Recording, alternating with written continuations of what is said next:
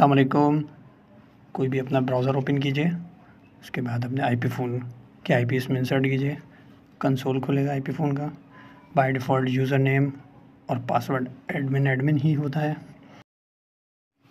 Right side पे आपको settings नज़र आएगी, उस पर क्लिक कीजिए, फिर आप डेट एंड टाइम पे आ जाइए। डेट एंड टाइम को जब आप क्लिक करेंगे तो आपके पास नीचे डी एस सी पी आ रहा होगा, उस पर चेक लगाइए और ऑटो की जगह पे अपना कंट्री सेलेक्ट कीजिए।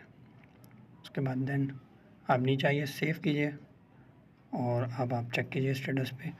एक दफ़ा ब्लिंक होता है वो, उसके बाद एंड हो जाता है।